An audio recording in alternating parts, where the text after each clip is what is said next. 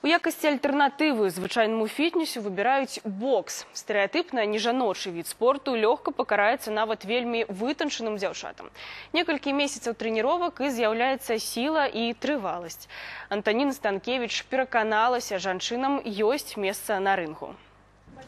Бізнесвумен Марыя знаходзіць у сваім раскладзе час на фітнес. Праўда, некалькі месяцаў таму пілатэс і йогу крыху пацясніў бокс. Два раза на тыдзень з ахвотай б'е не толькі грушу, але і такіх жа дзяўчат у спарынгах. У меня вообще такая текстура, что как бы синяки не садятся, но один раз у меня было ссадина. То есть нечаянно подруга, ну как бы бе- без перчаток была и хорошо так съездила по лицу. А, Были синяки на ногах. А, Ну, бывает, бывает. То есть. Так, чтобы, знаете, там кровь из носа, такого не было. Но могут ударить случайно. Причем ударить больно. Карысны момант гэтага віду спорту авалодванне элементарнымі навыкамі самаабароны. Хоць кожная з гэтых дзяўчат спадзяецца, што ніколі ў жыцці яны ім не спатрэбяцца. Я еще себя в этом не попробовала, поэтому не могу ответить однозначно на этот вопрос. Но думаю, как бы, так как мы тренируемся на выносливость, убежать всегда можно.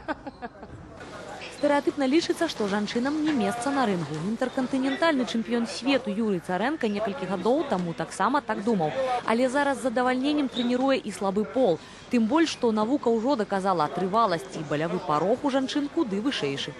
Болевой порог у девушек мы тут не испытываем, у них больше это как фитнес идет, тренировки по боксу. Тут совсем другой подход, тут всякие нюансы на физиологию, я думаю, должны быть. Это как бы надо отдельно еще этим заниматься. А ў астатнім для слабага полу ніякіх патуранняў няма. Спрытная размінка і цяжкія практыкаванні для падтрымання формы ўсё як у хлопцаў. Практычна ўсе дзяўчаты, хоць і не ўсе ў гэтым прызнаюцца, прыходзяць сюды, каб палепшыць свой знешні выгляд. Не сакрэт, што аэробныя фізічныя нагрузкі добра ўплываюць на фігуру. І сапраўды, з кожным ударам адчуваеш, як лішнія кілаграмы кудысьці сыходзяць. Зараз бокс упэўнена стварае канкурэнцыю стандартным відам фітнесу менавіта сярод дзяўчат. Сіла, трываласць, падцягнутая фігура, далёка непоўны пералік плюсоў бокса.